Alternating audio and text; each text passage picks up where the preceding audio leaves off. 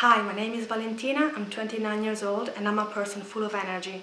I grew up around the world, so this gave me a lot of communication skills.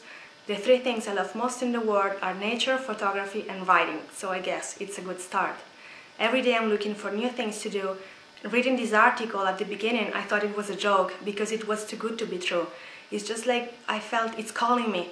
I'm crazy about Australia and I said I have to try. So I'm not gonna show any particular special video. I'm just gonna let my week talk and of course wishing to myself the best luck.